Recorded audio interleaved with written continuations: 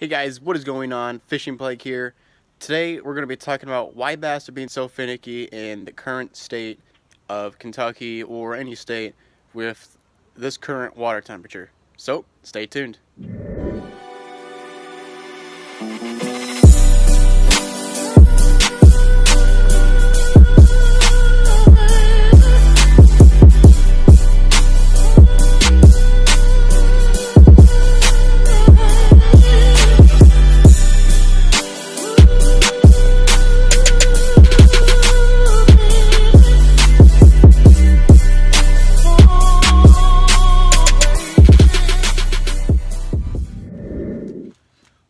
So today we're going to be talking about a few baits that I would be using around this time.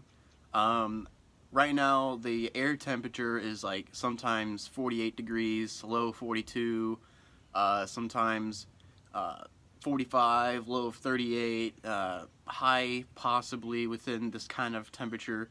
Uh, we could probably get into 60s. Um, but it's not really exactly happening. It happened for like three days, and that was before all the flooding happened. Uh, here in Kentucky, Indiana, and a couple other states locally. Um, but Lake Cumberland is the lake that I'm going to be talking about for a few videos until after April because we have regionals for the high school uh, KHSAA tournament, FLW mix. Um, it's the high school tournament there. It's going to be April 28th. But anyway, the average above sea level level of foot for Lake Cumberland is, I believe, 680. Right now, we're at 730. We're like 50 above. And the current water temperature, surface water temperature, is 48 degrees. So, bass don't start spawning until around 60 degree temper uh, water temperature. Um, like I said, when it was in the 60s, the a couple three days, uh, they should have been started spawning, but the water rose because of rain and it got cold so water temperature dropped. So bass are smart. They're not dumb. Even though they got brains like that like a raisin they're really smart. They know the water's too high so they're not gonna bed and when the water drains their beds are still you know on the bank. And the water temperature is way too cold for them. So right now they're uh, suspending about 30 foot deep when you're in 60 foot. Uh, if you're in 40 foot they're about 30 um, they could be on the bottom. So uh, we're going to talk about a couple baits of what you should be using around this time. Bass are going to be really hard to buy right now in this kind of area. So I hope this really helps people out there that are dealing with flooded waters that are super cold. So, alright, bait number one. We're going to start off with the drop shot. Drop shot is my number one go-to on a spinning combo. It's all I throw on a spinning combo. Um, I'm going to start getting the shaky heads. Uh, drop shots, I'll, sh I'll throw uh, mainly a Morning Dawn Robo Worm. Morning Dawn's my favorite color. Or I'll do the, uh, the reflective shad color. Uh, those are my two go-to baits. Uh, Morning Dawn got me to 21st place out of 186 last year at regionals. So I did really good. Um, I'm hoping it should be just getting into the 60s degrees permanently around tournaments. So if they're betting, it might be a little different. So I might not use the bait again. Uh, bait number two, I mentioned it, it's a shaky head or a wobble head if you want to use like a uh, Texas rig a creature bait, like a brush hog or a crawl or a beaver. Um, lizards, I don't use lizards, but I heard a lot of people having good luck out here with them.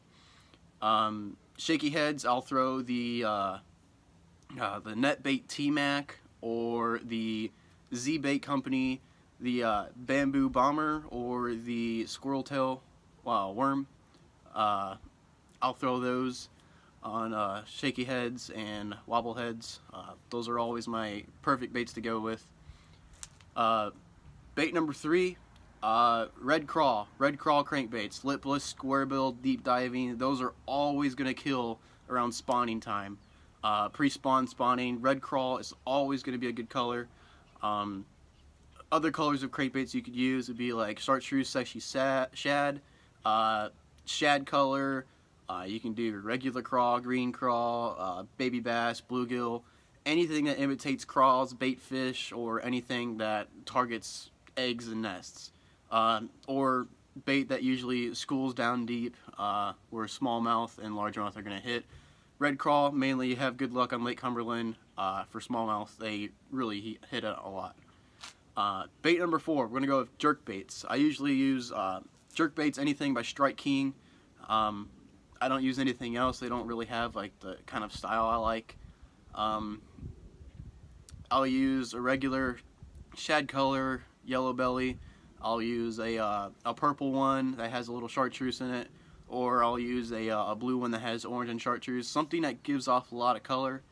Um, I know Lucky Craft Slender Pointers I've been using a little bit. They're uh, they're neat, but they're not as good as I would expect because they're more expensive. Uh, it's like a $25 uh, jerk bait compared to a uh, $8, $9 crankbait, $12 crankbait. Um, the deepest I'll go is I'll jerk about 9 foot suspending. I'll jerk uh, 12 foot suspending. I really don't go any deeper. If I go deeper, I'll switch to a deep diving crankbait or lipless. Lipless, lipless are always good, like I said. Um, I think we're on five or six. Not sure where we're at right here. Um, I would go with jigs, uh, flipping jigs, uh, finesse jigs. Those are the kind of jigs I'll use. Uh, right now, the jigs I've been using like crazy is the Bico jigs. Uh, their link is down below if you guys want to check out their social media and their website. Um, I'll pair up the jigs with a, uh, a net bait baby pocket crawl. Baby pocket crawls are my favorite uh, crawl crawl soft bait. I'll use those on anything that I need a crawl for. Uh, it's hollow. They're really dependable and they have a lot of color variety. Uh, Netbait is kind of one of my favorite soft pla uh, plastic companies. Another bait that you can use is a swim jig. Uh, swim jigs, I don't really know what kind of trailers I put on them. I mainly just throw a uh, Zoom Super Fluke on it. Um, I really don't know of any good soft plastic companies that make trailers. Like I'll, I'll use like Zoom Grubs or the, the Flukes. Um, I really don't I don't use swim jigs, but I really want to find a good soft plastic company. So if you guys know of a good swim bait company that makes soft plastic swim baits, like for trailers or regular swim baits, uh, leave a comment down below, and uh, I'll buy some. And if you guys, I don't know, if I buy the the company you pick and the kind of colors, I might send you some. Be like, hey, thanks for the advice. Here's a few packages. So that's something to think about if you guys want to get some free baits. Um, Another bait you guys can use is a spinner bait. Spinner baits I usually key in on War Eagle or I'll use, uh, if I use buzz bait and they're up shallow, um, I'll use the uh, Legend Bait Swim Buzz. Um, if you guys don't know what the Legend Bait Swim Buzz is, that is a legendary killer buzz bait. Just ask Fish and NWI or the real Max Stahl.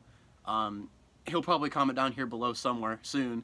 So uh, if you guys want to ask him how uh, him and him and I's tournament went on Cook Lake. Um, he knows the swim buzz pretty well. I don't know, guys. I think he's got me beat by a little bit. so it was probably like 50 degree. I think it was 50 degrees outside, or at least like low 60s. Water temperature was about like 50, 54, somewhere around there. And uh, you had the concrete wall and then a little bit in between it there was like about three foot four foot gap of nothing and then there was high grass threw the swim buzz up in there against the wall. Cranked it over that little edge where there's no grass. Man bass killed it killed it. If you enjoyed this video and this helped you leave a like. And if you guys want to see more videos like this hit that subscribe button. I'll be posting as much as possible as I can. Uh, we got new jerseys coming in soon. This is last year's. Um, we got new jackets that already have. Um, I've already fished Lake Cumberland. That's why I'm making this video because I feel like it should help other people because it would have helped me back then when I was fishing Sunday. Also, if you guys like the new intro, man, go look at that intro video. Leave a like. I, I'm proud of it. But like I said, guys, if you enjoyed this video and it helped you, um, mainly this video was targeting audience for uh, people who fish uh, recently flooded waters or waters that drastically drop temperature um, or waters that were spawning but drop temperature now they're not spawning. So I hope this video helps someone out there. Uh, it's some really vital information. Uh, qualities of videos don't matter. It's the information that matters. Uh, you can watch anyone as long as you learn something. That's the main point of watching videos on YouTube. But like I said, I'm Fishing Plague, guys. I hope you guys enjoyed this video. I hope you guys get the fishing plague, and I'll catch you on the next one.